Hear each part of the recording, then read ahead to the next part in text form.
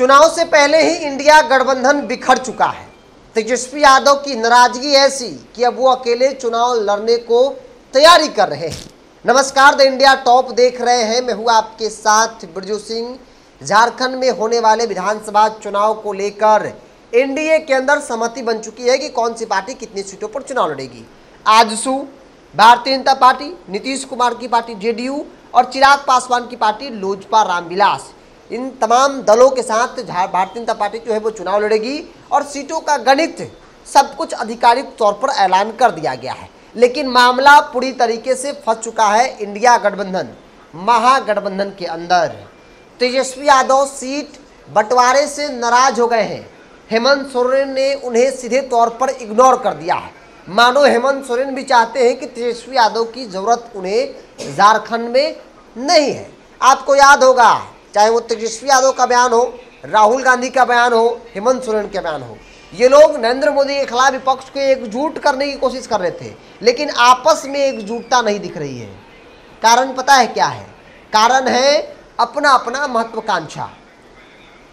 मन मुताबिक सीटें न मिलना।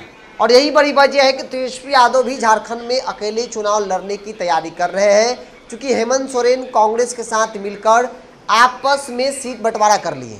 सत्तर सीटों पर कांग्रेस और जेएमएम चुनाव लड़ेगी, यह तय हो गया है। बाकी जो 11 सीटें बचेगी, चूँकि इक्यासी विधानसभा सीटें झारखंड में 11 में से आरजेडी, वाम दल के दो जो दल है, भाकपा, माले, उनको भी एडजस्ट करने यानी कि तीन दल। और कहा जा रहा है कि चार से पाँच सीट ही हेमंत सोरेन, किसी भी हाल में राष्ट्रीय जनता दल आरजेडी को देने वाले हैं, इससे ज़्यादा उनको नहीं मिलने वाला है। लेकिन तेजस्वी यादव नाराज़ है, तेजस्वी यादव का मानना है कि नहीं, हमारी पार्टी कम से कम पिछली बार सात पर लड़ी थी तो इस बार बारह से चौदह सीटों पर लड़नी चाहिए। अब जरा सोचिए, सीट बचा है ग्यारह तेजस्वी का दावा है कि बारह तेरह सीट पर लड़ेंगे। कल मनोज झा का बयान आप लोगों ने सुना।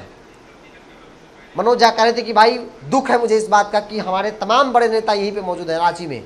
तेजस्वी यादव भी रांची में है, तमाम बड़े नेता रांची में है, लेकिन उन लोगों से पूछा तक नहीं गया है। हालाँकि उसके बाद तेजस्वी यादव को लग रहा था कि हेमंत सोरेन की तरफ़ से कोई दूत आएगा उनसे उनको मनाने के लिए, लेकिन कोई नहीं आया। अंत में तेजस्वी यादव को ही हेमंत सोरेन से मिलने के लिए जो है सीएम हाउस जाना पड़ा है। तो जो तस्वीर झारखंड के अंदर महागठबंधन, इंडिया गठबंधन के अंदर बनी है, जिसके आधार पर यह कहा जा रहा है कि जेएमएम, झारखंड मुक्ति मोर्चा हेमंत सोरेन की पार्टी इकतालीस से बयालीस सीटों पर चुनाव लड़ सकती है। वहीं कांग्रेस 28 से 29 सीटों पर चुनाव लड़ेगी। माले को बगोदर, निरसा और राजधनवार या सिंधरी की सीट मिल सकती है। सीपीआई को एक सीट देने की चर्चा है। गठबंधन के अंदर आरजेडी को चार से पाँच सीट देने की चर्चा है। आरजेडी की एक विधायक है। पिछली बार सात सीटों पर आरजेडी लड़ी थी गठबंधन के अंदर। लेकिन इस बार आरजेडी कह रही है कि भाई नहीं, हमको कम से कम चौदह पंद्रह सीटों पर चुनाव लड़ना है। और इसी सोच के साथ तेजस्वी यादव भी वहाँ डेरा डाले हैं। लेकिन जो तस्वीर दिख रही है, हेमंत सोरेन जिस प्रकार से तेजस्वी यादव को इग्नोर कर रहे हैं, मानो वो स्वीकार करने को तैयार नहीं है। क्योंकि आमतौर पर चर्चा भी रही है कि झारखंड में कोई यादव वोट बैंक नहीं है, जिसके आधार पर आप कह रहे हैं कि भाई, यादव मेरा कोर वोट बैंक है, हमको चाहिए ही चाहिए। झारखंड में मुसलमान जो है, वो कांग्रेस पार्टी और जेएमएम को वोट करता है। बिहार में सीमांचल को छोड़ दिया जाए या फिर शाहबाद को छोड़ दिया जाए तो इन क्षेत्रों में बाकी जो मगध का क्षेत्र है, या फिर आप चले जाइए गोपालगंज, सिवान, छपरा तो उन क्षेत्रों में आरजेडी को मुसलमानों का वोट मिलता है। आरजेडी का वोट बैंक एम और वाई है, मुस्लिम और यादव है। इसी के आधार पर आरजेडी के जितने विधायक बनते हैं तो इनकी बड़ी भूमिका होती है। बाकी कैंडिडेट के हिसाब से कुछ माहौल बनता है, जिसके आधार पर वोटें मिल जाती है। लेकिन सच्चाई ये है कि मुस्लिम और Yadav core vote bank RJD का है, जो कि झारखंड में है नहीं। झारखंड में यादव की राजनीति नहीं होती है। तो ऐसे में आधार क्या है?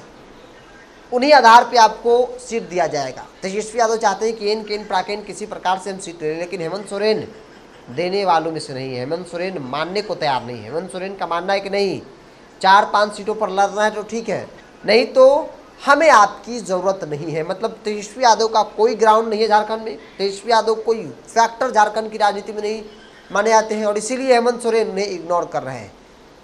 देश को एकजुट, विपक्ष को एकजुट करने वाले नेता धुरंधर आपस में एकजुट नहीं हो रहे झारखंड में। ये तस्वीर दिख रही है।